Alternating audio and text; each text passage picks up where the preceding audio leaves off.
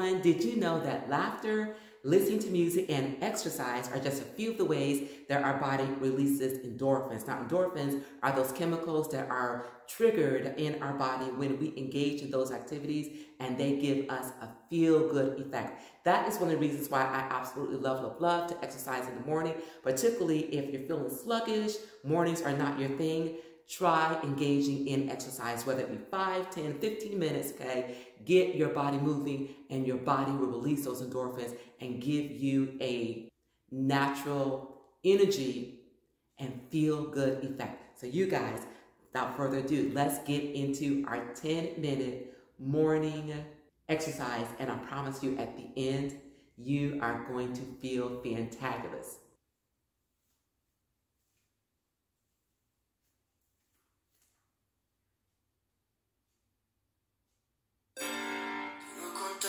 Tengo